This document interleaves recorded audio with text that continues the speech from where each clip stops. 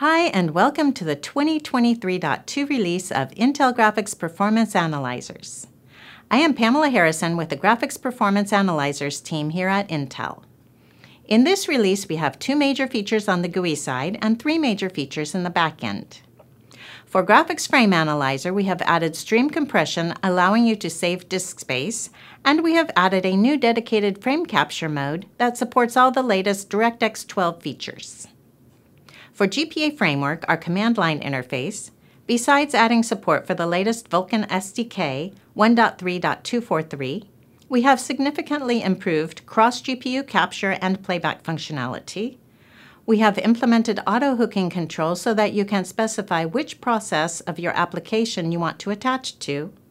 And we have added a dump state layer that allows you to view states of individual draw or dispatch calls. For our first graphics frame analyzer highlight, we have stream compression. Stream compression allows dynamic compression of stream content while recording to reduce the size of the recorded data, allowing you to save disk space. Be aware that in some cases, compression during capture may reduce application frame rate, so that smaller stream size may be due in part to fewer frames captured.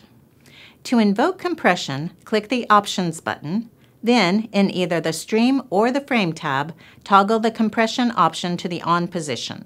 This is available for DX12 and Vulkan for streams, and DX12 for single frame capture.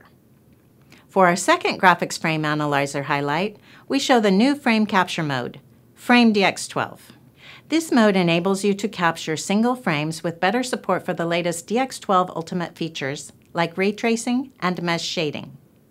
If you attempt to use this mode with a DX11 app, there's a HUD warning that the wrong mode was chosen.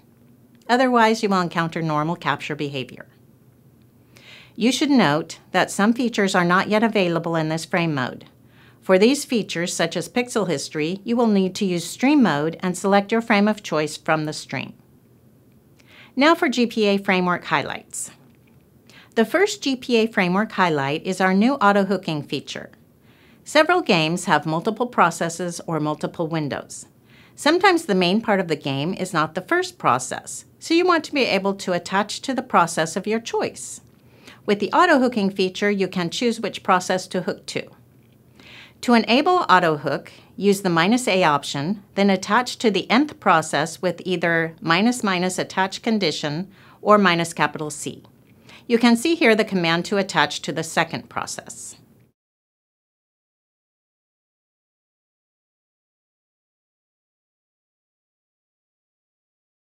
For attaching with a regular expression, use minus capital C with a regular expression as shown. One other important option for this auto-hooking feature is the flavors feature. The three flavors are snapshot, strict, and busy, and can be used individually or in combination. Busy is perhaps the most useful of the flavors. It would be used with applications that start so quickly that GPA might not be able to attach fast enough. So minus F busy causes GPA to implement busy waits on the threads so that we have time to attach to the appropriate process as it begins. For our second GPA framework highlight, we have cross-GPU playback.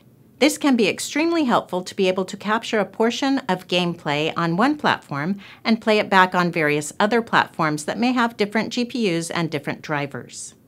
For example, an artist could capture a stream on their platform and send that capture to an engineer for profiling analysis.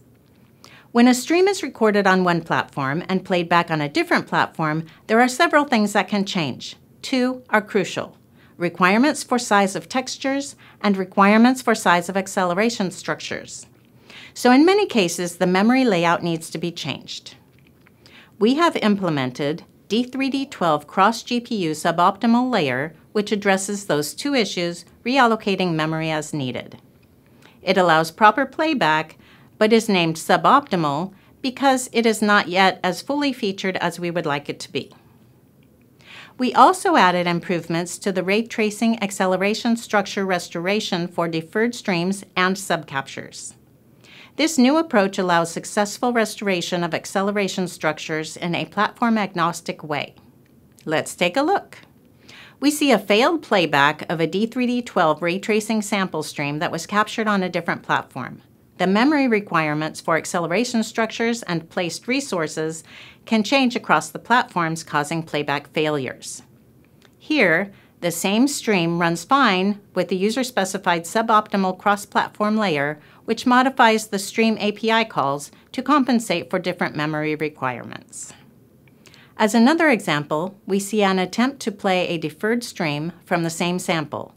Deferred streams include restoration data for all the objects, including acceleration structures.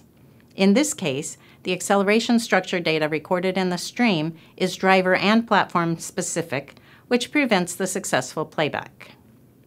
And here, the stream was captured with the new version of GPA Framework.